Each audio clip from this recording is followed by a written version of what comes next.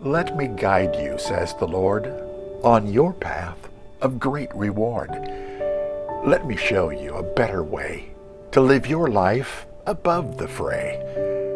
Greater confidence, increasing treasure, hope-filled days, decreasing pressure.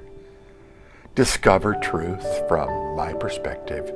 Of my purposes become aware. Dine with me, enjoy my banquet. Experience flavors beyond compare. In the rivers of my spirit, there's a flow of great delight. In the fountains deep within you, there's a glow.